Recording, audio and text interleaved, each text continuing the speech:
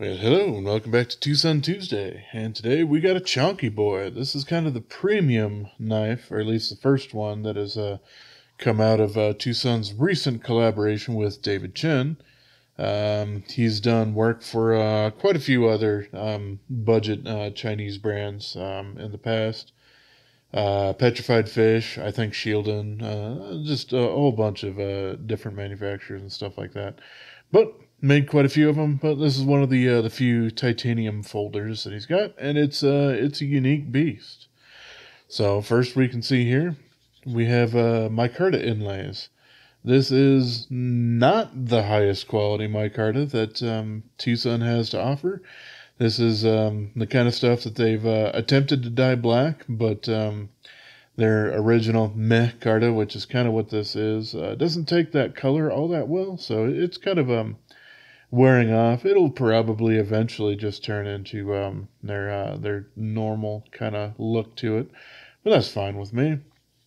This does have a bit more texturing on the uh, the micarta than uh, a lot of the other stuff, though, so that's pretty good. It doesn't actually feel bad in this uh, particular case here. Pocket clip is um, quite large. Uh, I really like it though. Um, works great. Comes in and out of the pocket really, really nice and it's not uh, pencil thin, so it kind of stays put instead of um, having the tendency to rock around in your pocket like um, some uh, very, very uh, thin pocket clips can do.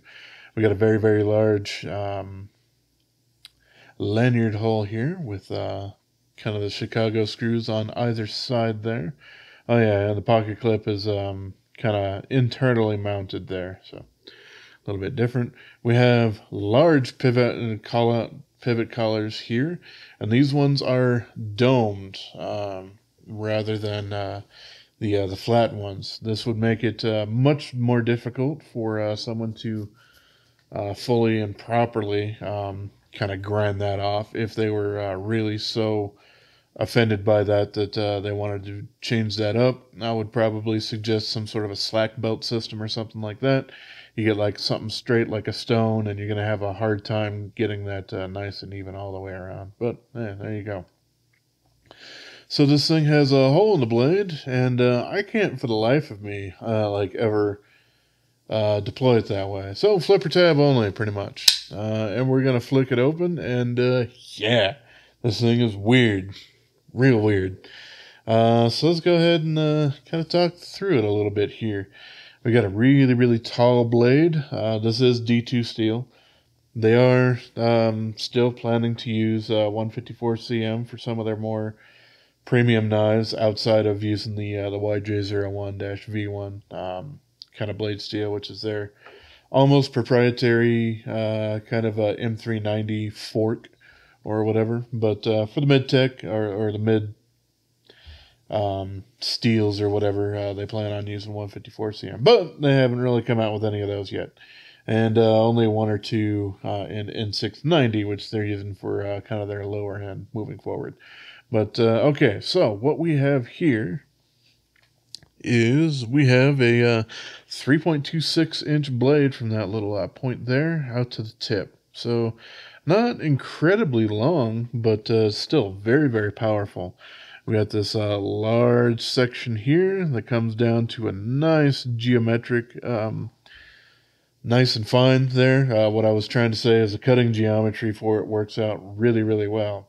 And for the top part, um, it is basically a Scandi grind. Um, it goes straight down to zero. Um, and it's not a chisel ground knife. It's, uh, it's on both sides there.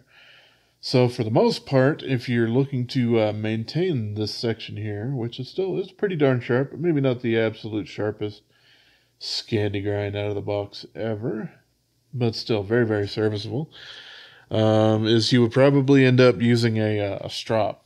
Um, you can actually feel uh, when you're putting it on uh, at least a stone first before you uh, try to do that with um, leather that has a little bit of give, but you can actually feel where it um, uh, meets there, and then you can uh, pull that back to, uh, you know, go ahead and strop that. Or you can immediately ruin it. Um, well, ruin it, but change it into a, uh, a V edge by uh, doing some sort of other sharpening on it. But you're going to want to do a, a uh, pretty steep uh, angle to uh, not try to fight through uh, so much thickness there. Yeah, it is kind of what it is. This is really, really strange to have a, a Scandi ground for um, the the front part of a knife, and then a, a standard um, V edge or whatever you want to call that for the the standard portion there. Uh, we have a heck of a lot of milling going on here. Uh, first thing I want to mention is the plunge grind, done fantastically. We can see exactly where that ends. Uh, right in the middle of that uh, sharpening choil. I wouldn't call it a finger choil myself, as you can see here. Uh, so that's done quite well. Uh, we also have that hole that I was talking that I couldn't quite um, deploy the blade from, but it does have some milling. It's got that hole, as well as um, four of these little channeled guys in here on either side. So there's that.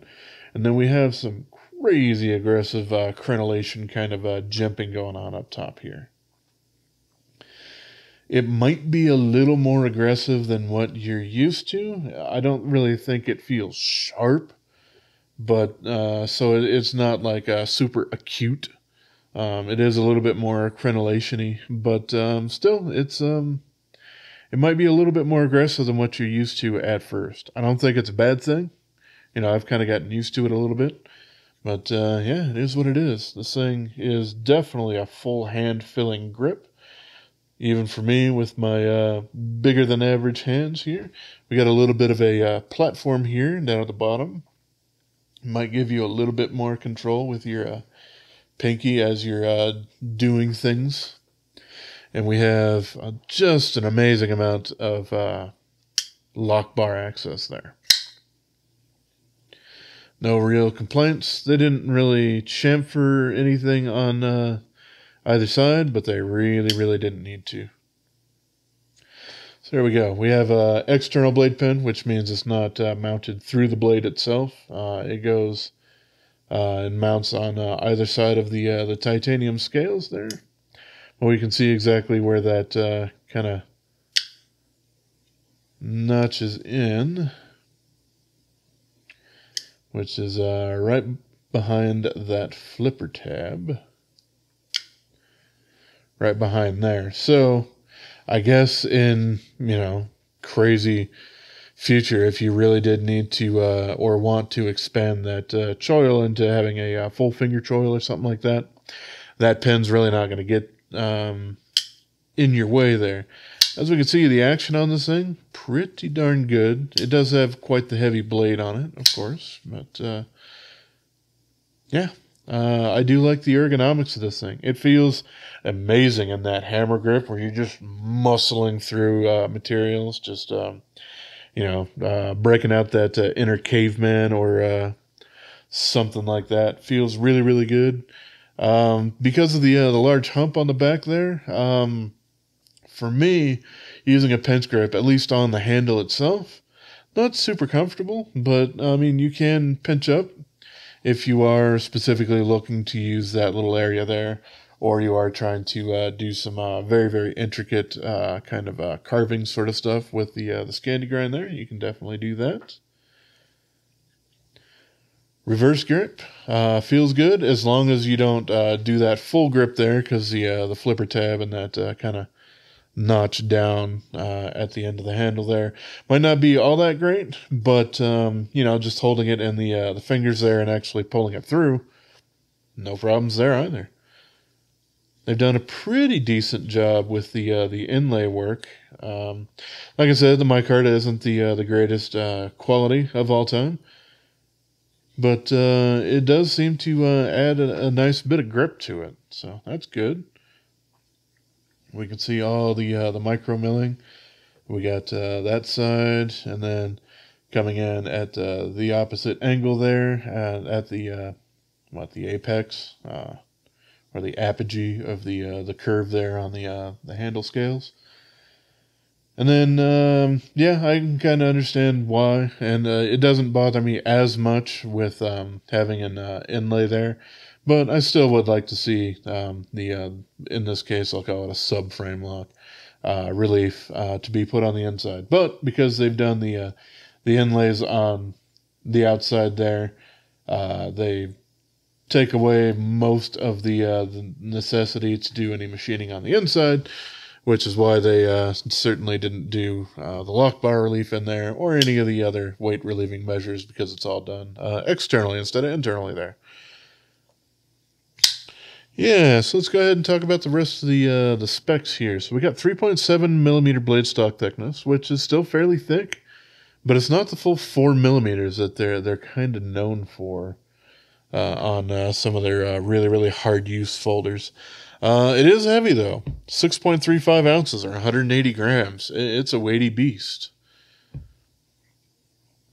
See, I did mention uh, earlier that it was uh, 3.26 inches from the uh, the tip of the Scandi there to the uh, kind of point on the uh, the scales. That ends up being 82.8 millimeters, and then the handles on this guy here uh, at that um, kind of a point on either side, we we got measured 0.64 of an inch, or 16.2 millimeters. So fairly thick. Like I said, this thing is a very hand filling grip. Uh, oh, also, no snaggletooth or uh, uh, worries whatsoever. No problems with the uh, the blade being anywhere close to the spine there. Sad that I have to mention that, but TwoSun has that problem on so many models. It just needs to be a part of uh, my review process to let people know about that.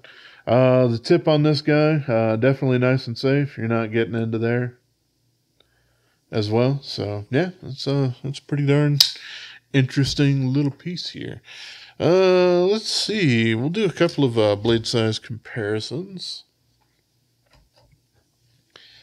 Uh, the blade is going to be probably a lot longer on the uh, the Manix 2 XL here, but uh, yeah, there we go. So it's definitely not that long of a knife. Um, yeah, there we go with the uh, the PM2 kind of similar as far as um, blade length, but of course PM2 also has a, a bit more handle length uh, going on with it, mostly due to the uh, the finger choil um, and all that sort of stuff.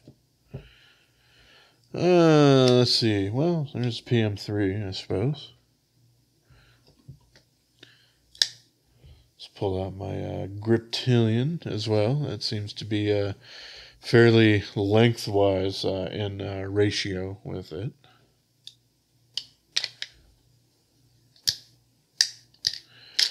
Close that guy up properly. All right, and there's the 940. That's also fairly similar as far as length proportions are concerned. There's a Bugout, certainly uh, a bit of a smaller knife.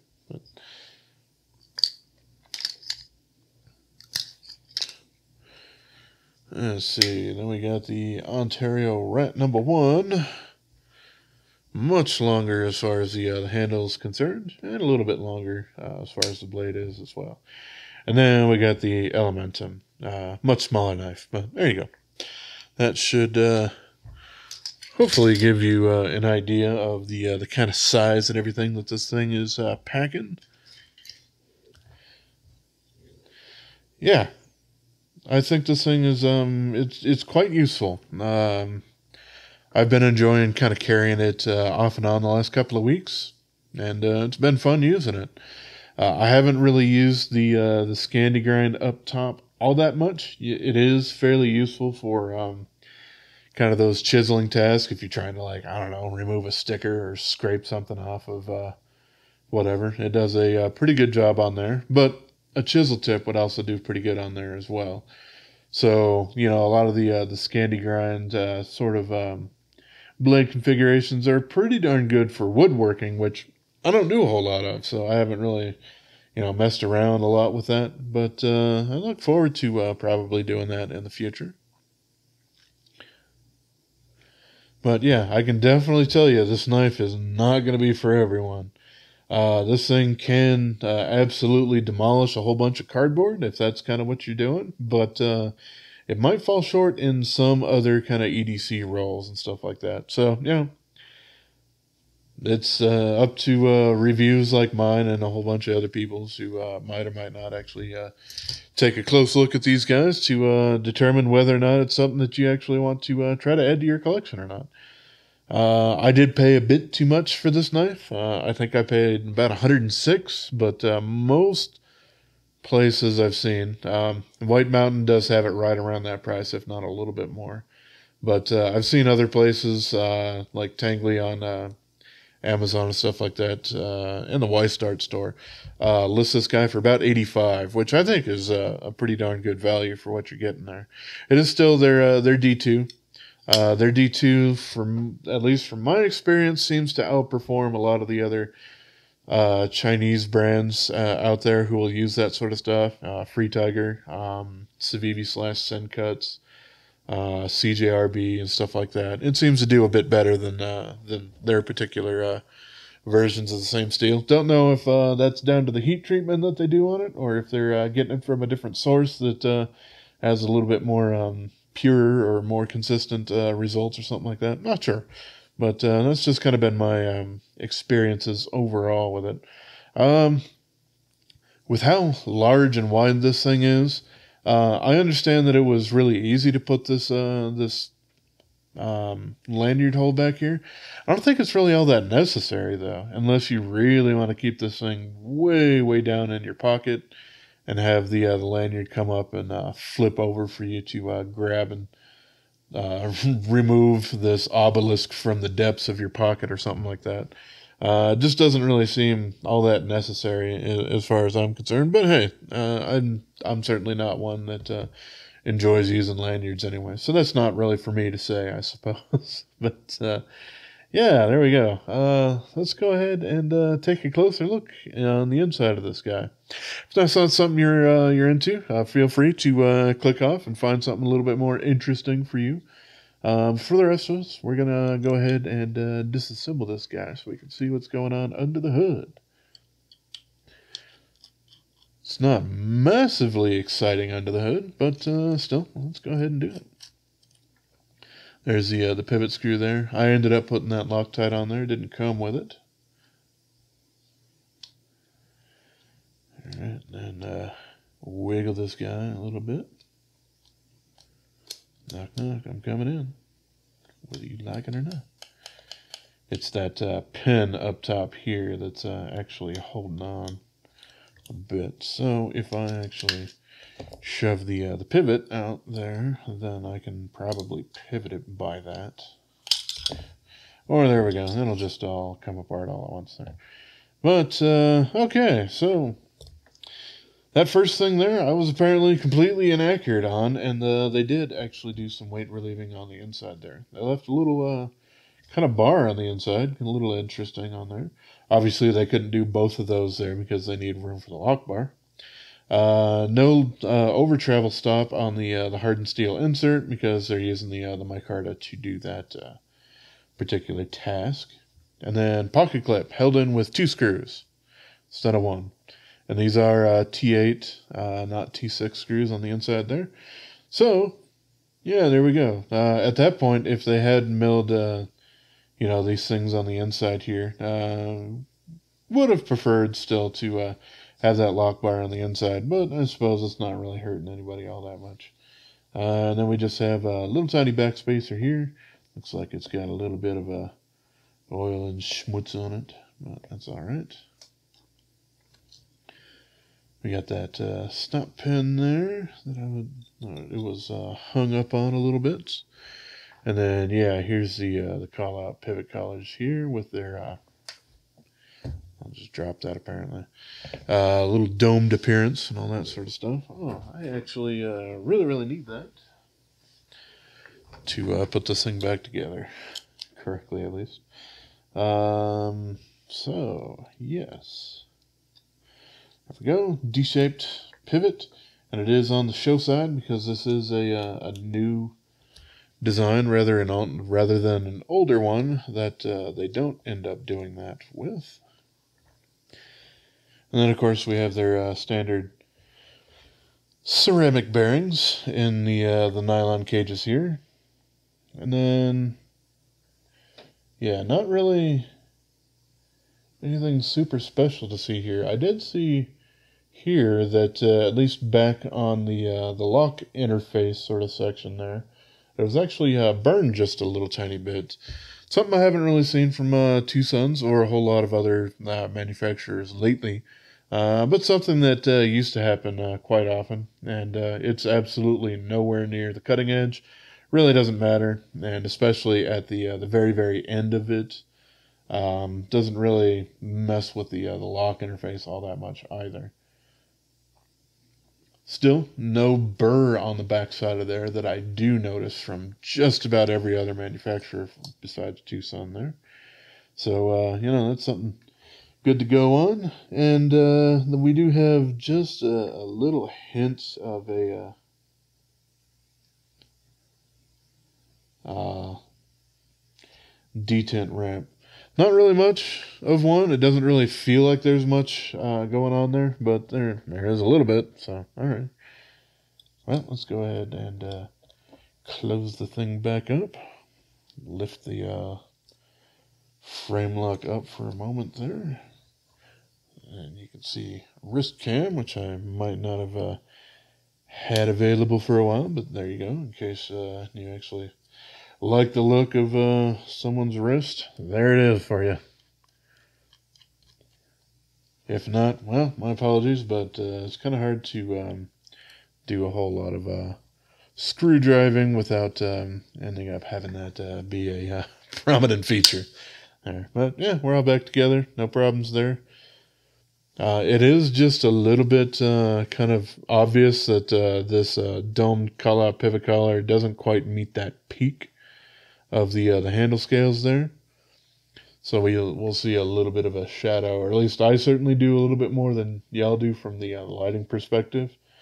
Um, yeah, it's just yeah, it is what it is. These pivot colors aren't bespoke to this particular knife, and they don't have a particular orientation to have that kind of be there. But there we go. There's the TS 500.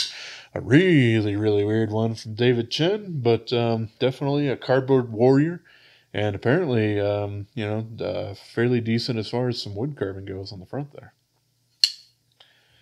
But uh, alrighty, there we go. Um, as always, I appreciate y'all for watching and have yourself a wonderful rest of your day, yo. And subscribe, please.